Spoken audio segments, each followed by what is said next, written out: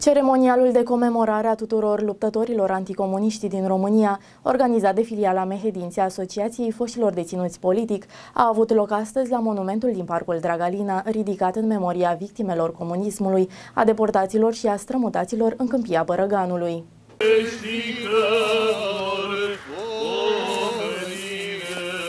Și pomenirea lor din am și le fă, Doamne, veșnică pomenire veșnică pomenire,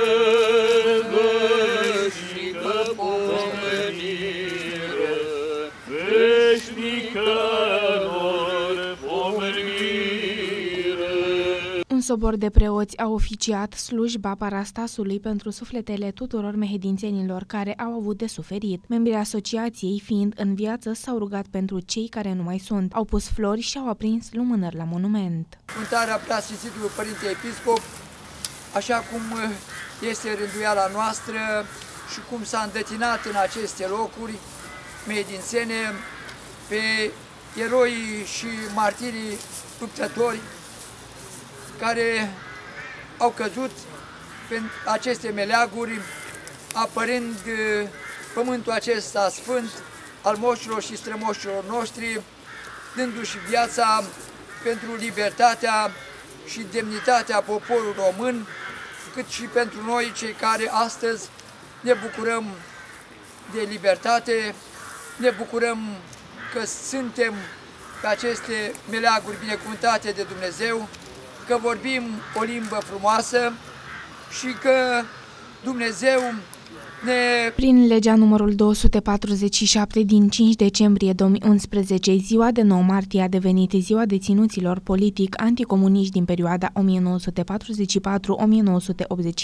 La ceremonialul de comemorare a tuturor luptătorilor anticomuniști a participat și vicepreședintele Consiliului Județean Mehedinți, Ionică Negru, care a ținut un discurs emoționant și a oferit și diplome de recunoștință și prețuire pentru curajul și vitejia de care au dat dovadă dovadă în fața represiunilor sistemului comunist din partea președintelui Consiliului Județean Mehedinți, Aladin Georgescu. Bun găsit tuturor! Vorbim astăzi despre foștii deținuți politici din România în perioada 1944-1989 la un eveniment prin care comemorăm memoria luptătorilor de rezistență anticomunistă care, nu întâmplător, este marcată în ziua pomenirii celor 40 de mucenici.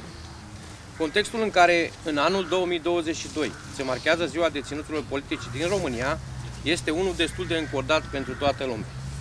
Dacă despre ororile prin care au trecut reprezentanții mișcării românești de rezistență, mulți dintre noi citesc în cărțile de istorie și poate doar prin evenimente ca cel de astăzi, află prin ce au trecut foștii deținuți politici despre ceea ce se întâmplă în, în Ucraina astăzi, despre cum oamenii cu copiii în brațe fug din calea războiului, vedem în direct pe canalele de media uh, peste tot.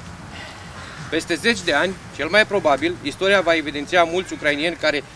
ca personalități marcante ale rezistenței în fața atacului Rusiei, exact ca cei pe care îi comemorăm noi astăzi. Faptul că România a intrat în rândul organismelor europene și internaționale și are un statut important dacă ne gândim la organisme precum NATO, ne oferă o protecție în raport cu celelalte state. Îmi doresc, ca noi toți, de altfel, să nu mai trecem niciodată prin ororile războiului dar nici prin represiunile la care cei pe care îi comemorăm astăzi au trecut și le regretăm.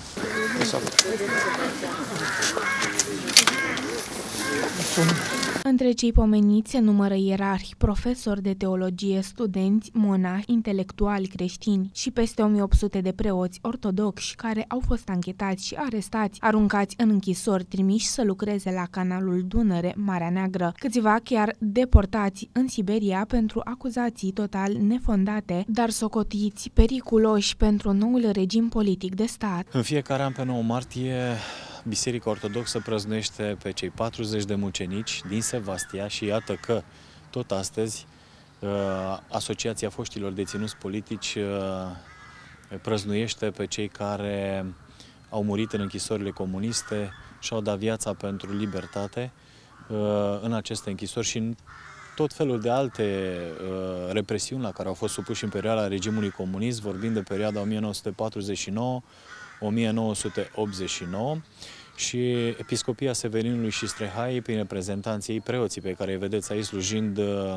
parastasul pentru, la monumentul eroilor din parcul, la monumentul martirilor din perioada comunistă uh, aici în parcul Dragalina,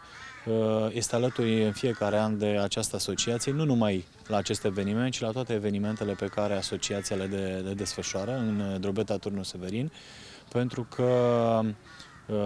aceștia și-au dat viața, am spus, mulți din ei martiri în închisorile comuniste și pentru credința noastră, pentru ca noi să fim liberi și asta să ne putem închina și să ne putem ruga în libertate. Manifestarea a avut loc în municipiul Drobeta Turnul Severin, la monumentul din parcul Dragalina ridicat în memoria victimelor comunismului, a deportaților și a strămutaților în câmpia Bărăganului. Stimați invitați, în numele personal și în numele tuturor membrilor Asociației Foștilor Deținuți Politic, vreau să vă mulțumesc că sunteți astăzi aici împreună cu noi să-i comemorăm pe cei care în închisori sau în diverse alte locuri ale țării și-au uh, făcut sacrificiu suprem sau au suferit mulți de temniță pentru uh, un dublu crez, credința lor în Dumnezeu și dragostea pentru țară. Conform statisticilor Institutului de Investigare a Crimelor Comunismului și Memoria Exilului Românesc, în timpul regimului comunist au fost 44 de penitenciare principale și 72 de lagăre de muncă forțată destinate deținuților politic, în care au pătimit peste 3 milioane de români, dintre care 800 au murit.